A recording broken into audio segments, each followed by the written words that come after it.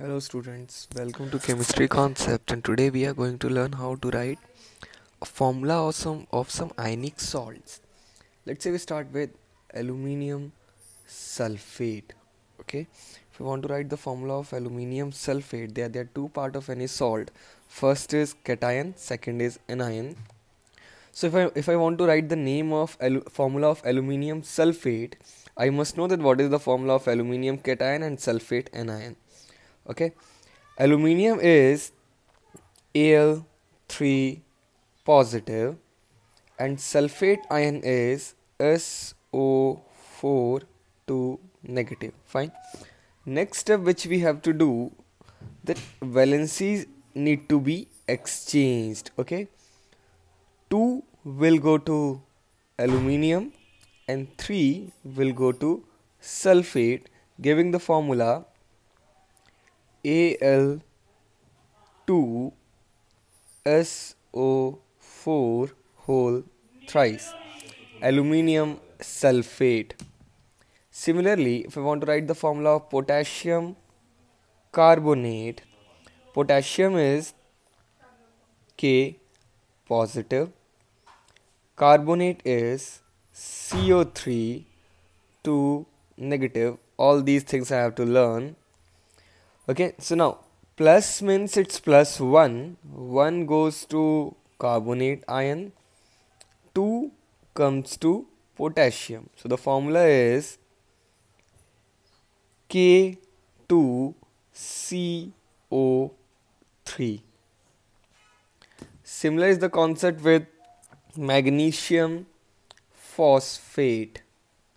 Magnesium is Mg positive. Phosphate is PO4 3 negative. Okay? So again the same thing.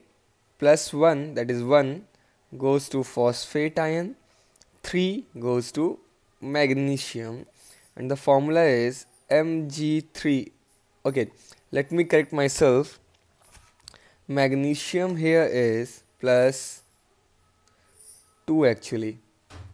Okay it's 2 plus.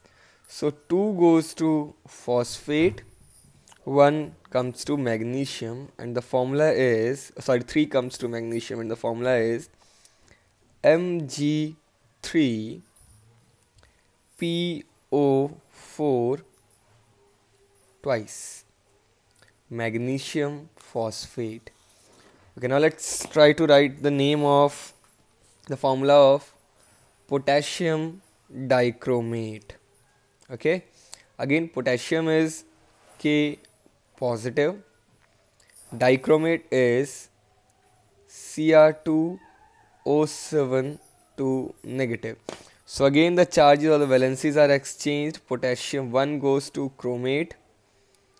2 comes to potassium. And the formula is K2 Cr2 O7 so one thing is clear that if I want to understand or learn how to write the formula of any ionic compound I must know that what are uh, the, symbols for ions how to represent an ion. For example if I want to write ammonium uh, sulfate I must know that ammonium ion is NH4 positive and sulfate is SO4 2 negative. Now now next is easy. Just exchange the valencies. So and it becomes NH4 whole twice SO4 hope uh, I hope these things were clear to you. Stay tuned uh, for more videos of organic inorganic and physical chemistry. Thank you